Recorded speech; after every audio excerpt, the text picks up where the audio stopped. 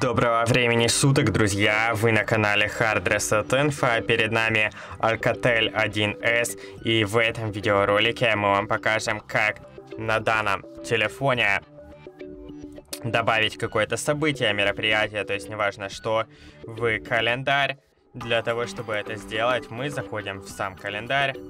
Для этого его нужно найти. Вот здесь вот он у меня находится.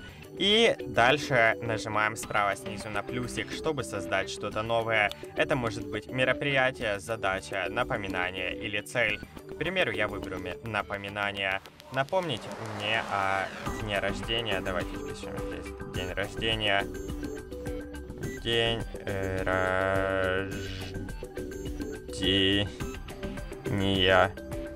Я так понял. У меня здесь должен был быть русский язык. Это вроде русский, а вроде вообще нифига не русский. Какой это язык? Честно, не знаю. Но сделаем вид, что вот это вот здесь вот на пробеле не видно. Это аварский. Что это? Ладно, неважно.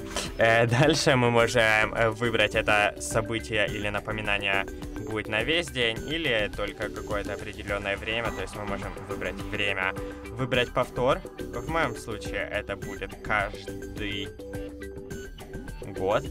И нажимаем «Сохранить», после чего мы создали напоминание, которое называется день рождения, которое повторяется каждый год.